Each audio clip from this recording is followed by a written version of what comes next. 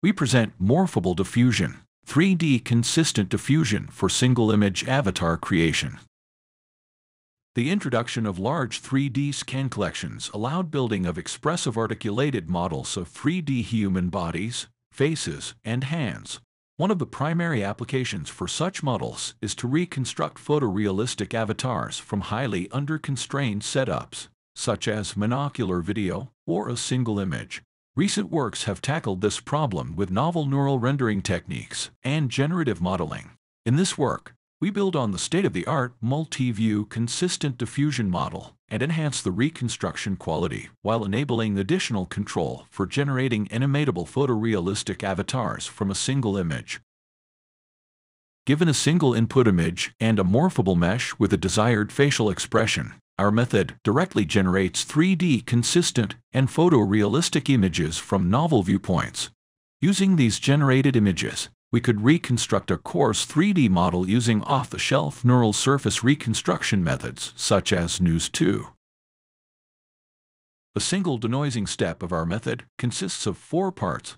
First, a noise feature volume is constructed by lifting and processing the 2D noise features into a 3D volume, which is processed by a 3D CNN to produce a spatial feature grid. Next, a morphable noise volume is constructed by attaching the 2D noise features onto mesh vertices that are processed by a sparse convnet to output a 3DMM-aware feature volume. Then, the resulting feature grids are blended via addition. The blended noise volume is further interpolated to the frustum of a target view that we wish to synthesize. Lastly, the noisy target image, the input image, and the target feature frustum are processed by a pre-trained 2D U-Net to predict the denoised image at the next iteration. We evaluate our method on the task of novel view synthesis of faces. Given a single portrait image, our method produces more plausible and realistic novel views while maintaining better multi-view consistency compared to state-of-the-art methods.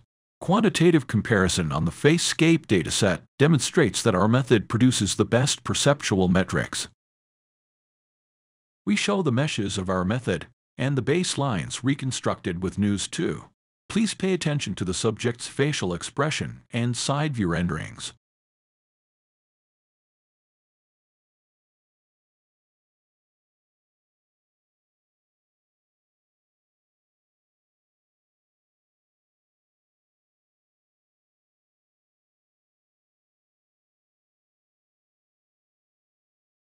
Our method could also be applied to novel view synthesis of full bodies. With explicit conditioning on SMPL-X vertices, our method generates full-body human images in more accurate body poses compared to the baselines. Quantitatively, our method demonstrates a considerable improvement over all the baselines across all metrics. Our method also supports novel facial expression synthesis with the proposed training scheme that disentangles the reconstruction guided by the input image and the animation guided by the underlying morphable model. Note that columns with dagger symbols are models with per-subject fine-tuning. Our method is the only one that successfully synthesized novel views for a novel facial expression while retaining high fidelity. Quantitatively, both of our models, with or without fine-tuning, outperform the corresponding baselines on most of the metrics. We compare the reconstructed mesh of our method with MoFaNeRF. Both models synthesize novel facial expressions from a single input image. Our method produces better resemblance.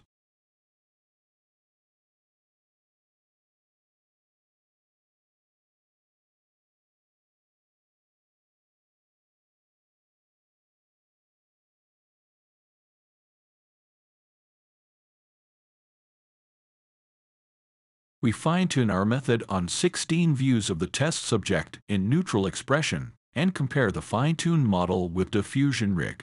Our fine-tuned model improves the resemblance slightly compared to the results with single input image and produces images with better fidelity compared to the baseline.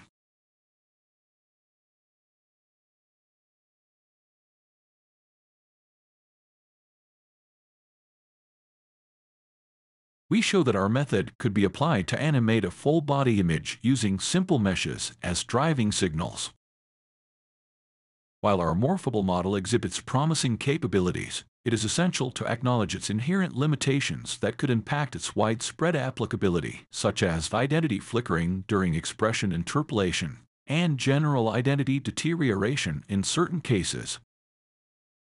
Our method is also unable to generalize well to in the wild input images due to dataset bias in ethnicity and hairstyles. Understanding and mitigating these occasional identity discrepancies and switching to a more diverse multi-view human face dataset would undoubtedly enhance the overall robustness and reliability of our morphable model. Future work can also involve adapting the method for real-time animation of the model from the video stream. Thanks for watching.